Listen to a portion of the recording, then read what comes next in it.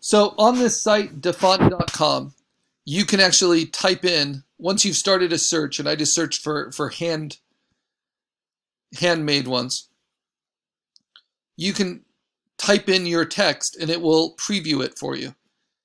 And pretty soon you'll get a sense of it. And I don't really love any of these for going with my poster. I want something kind of bold and kind of folk artish, but I don't want something kind of cartoonish. I know I don't want something thin.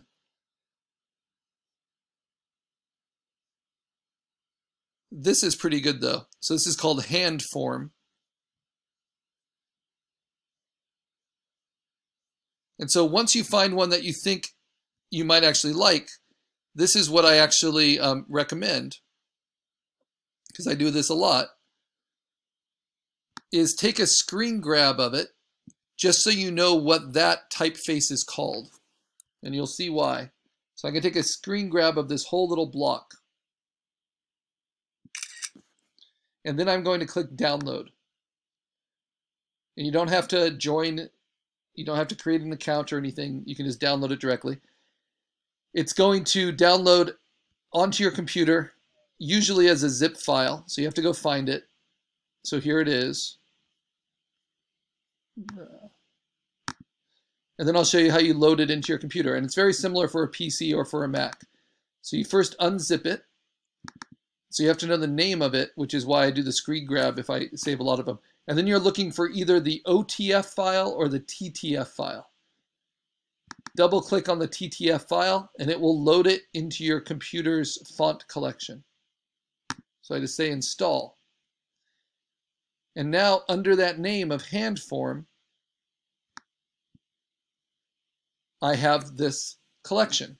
Now notice how it's limited. There's no lowercase. The reason this is repeated twice is it's all uppercase and there's no special characters, right? Though there is at least an apostrophe. So now if I'm in a program like Photopea,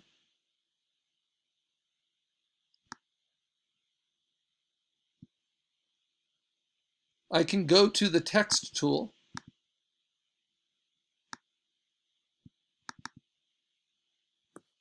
and type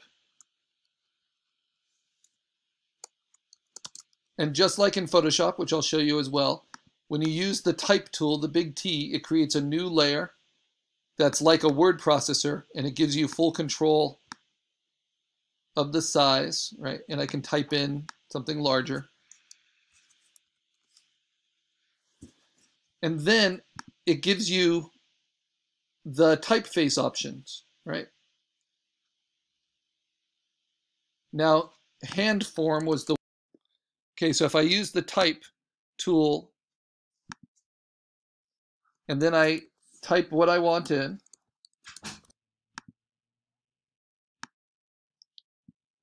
so similar to Photopea, I have to find that that type layer, right? Double click on it to get all the options here. So I can pick the color because it's a vector. Type is a vector. And I can pick the size uh, come on, work with me here.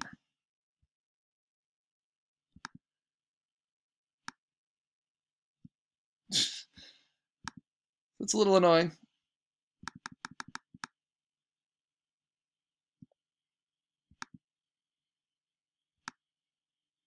It doesn't look like you're able to type it in. You're going to have to use those arrow keys within the vector program.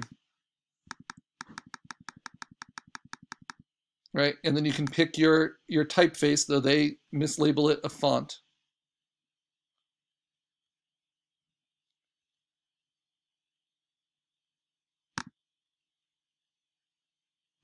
And then you'll see the different fonts that are available for that typeface. So like italic is available.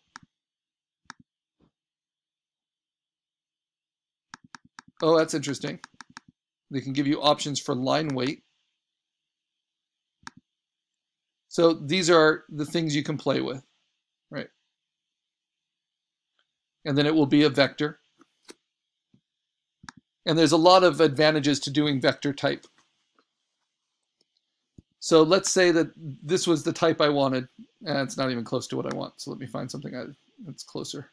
I don't see a way that you can load custom type into this vector program, unfortunately. But they have a lot built in. There probably is a way. But anyway, what I'm looking for, oh, that one's kind of nice. What I'm looking for is something I can customize. Because right now it's like a word program. And so I'm just looking for a vector I can use. So I'm actually going to delete everything else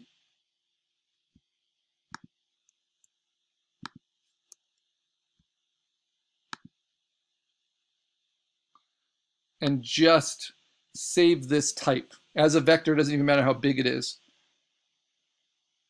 And I'm going to export it as an SVG. It's going to be an untitled SVG that I download. Okay. Let me open it up.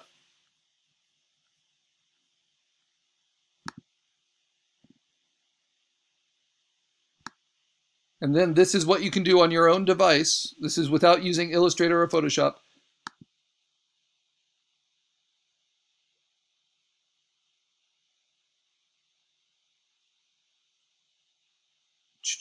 So let's see, the SVG, I'm going to try to bring that into Photopea, see if it will let me. So here's my Photopea. I'm going to try to open in place that SVG. See if it will let me, which is in my downloads.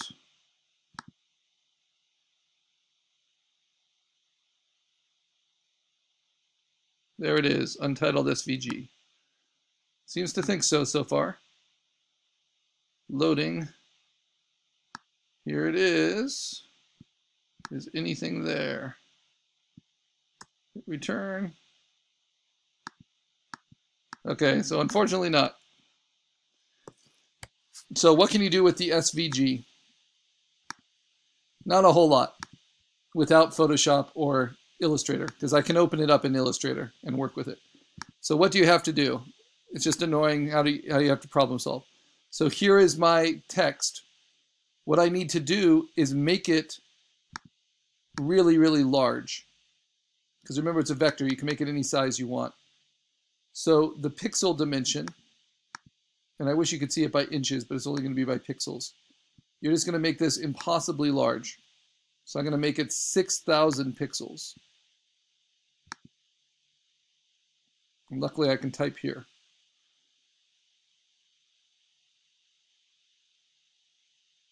And then save it as a PNG.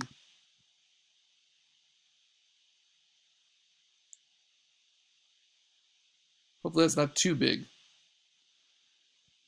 You want it really big because you want it clean. And then that PNG is going to be high resolution, you know, really clean, that then you can bring in to Photopea. But honestly, there's not a whole lot of advantage if I'm doing only browser-based ones to, to making that in the vector program and then bringing that in. So I want the untitled PNG, and that will go right into to Photopea. So basically, what am I trying to show you? I'm trying to show you how you pick a typeface, you use a program to type it in and customize it, and then bring it in around your, your spot illustration.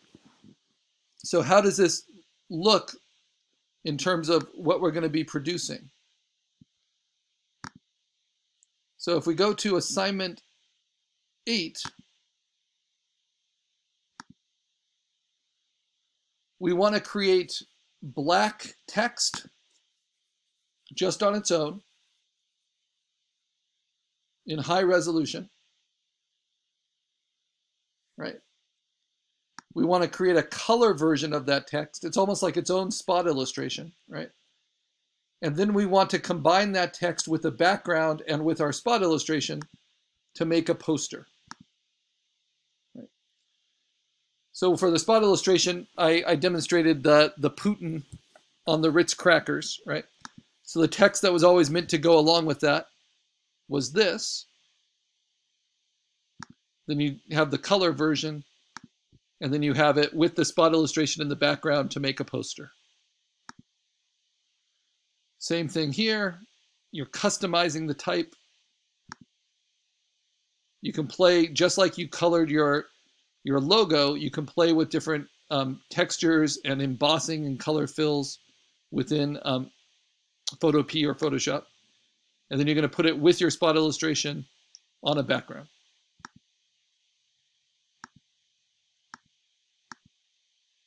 all that good stuff. So the first thing you have to decide is what text you're going to have, and then you have to decide how you're going to block it with your illustration. So here it's actually running behind intentionally, which makes it kind of hard to read. This has two sets of type that go together. But then I decided at the end for the finished poster just to use one of them.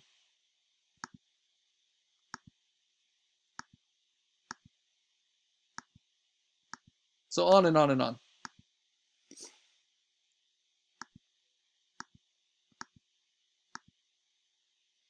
Now, we all have different tastes when it comes to typefaces. And my taste tends towards the handmade, uh, the more kind of letterpress, the more, um, you know, hand done, less mechanical looking type. So you can indulge your own own sources for this and your own tastes. And that's where Dafont comes in.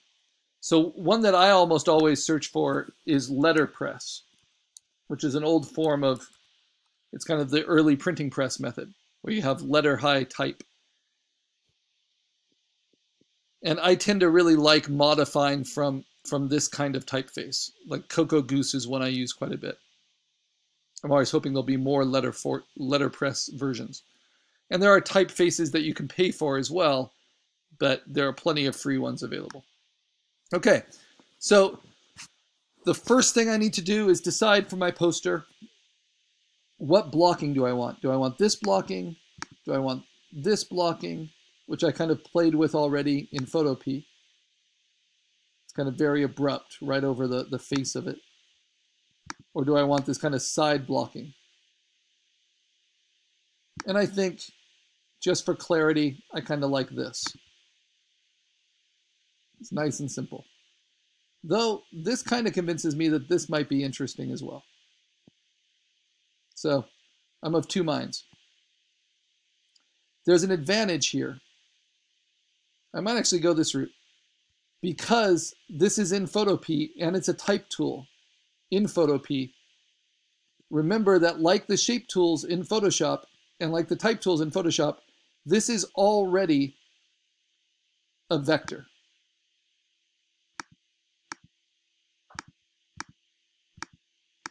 So that this is already vector type that then when I have it at the right resolution, I can rasterize and customize. So I'm going to do something similar. I think I will use this blocking. So I'm going to take a quick screen grab of this because this shows my blocking sketch. And the way I would complete this right in Photopea is I would bring in, I would say open in place my finished spot illustration PNG from assignment 7.